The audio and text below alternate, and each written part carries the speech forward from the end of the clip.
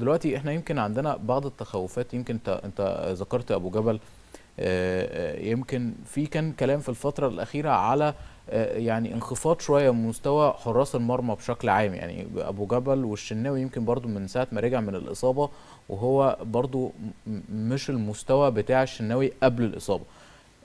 فده إحنا بقى علشان الاستعدادات لل- للمنتخب.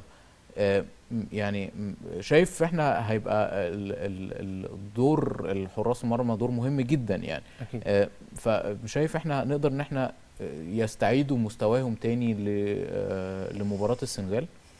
هو والله هو آه، يعني إحنا بنتكلم في الحراس ال- اللي عندنا حراس المرمى طبعا محمد الشناوي أبو جبل آه، ومحمد صبحي بتاع فاركو.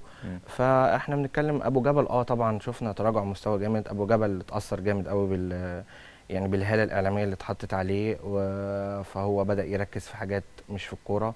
آه، طبعا أول ما رجع كانت الأمور متعلقة جامد قوي على أبو جبل إن هو هيشيل نادي الزمالك وكل حاجة. بدأت ال- النتائج ما ساعدتش أبو جبل. بدأت اخطاء ترجع تاني لأبو جبل.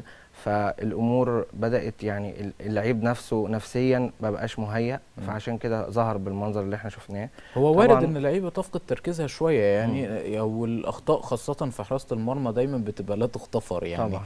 يعني غير باقي اللعيبة يعني دايما حراس المرمى بيبقى عليهم السبوت بتاع إن هو لو غلط بتبقى مشكلة كبيرة جدا. آه، لكن هي دلوقتي يعني إحنا طبعا مصر دايما في حراسة المرمى بالذات يعني عندها آه، إمكانيات كبيرة جدا.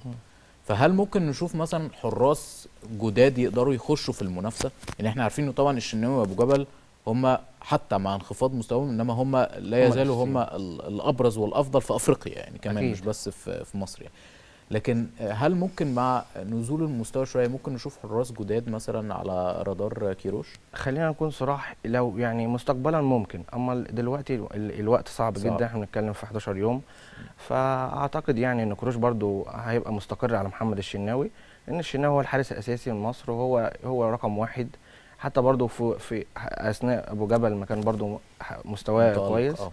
برضو الشناوي يظل رقم واحد الشناوي طبعا اسهمه طبعا هتعلى تاني بعد ماتش سان داونز آه رغم الخسارة الا إن الشناوي قدم ماتش هايل جدا. جدا جدا هو فعلا آه، و- يعني و- وأنقذ النادي الأهلي من هزيمة فرص كبيرة يعني. كبيرة يعني فالشناوي أكيد هيبقى رقم واحد وأعتقد أبو جبل يعني حتى لو الشناوي لا قدر الله قدر الله حصل له حاجة ما أعتقدش إن أبو جبل هيبقى رقم اتنين أعتقد إن محمد صبحي هو اللي هيكون موجود.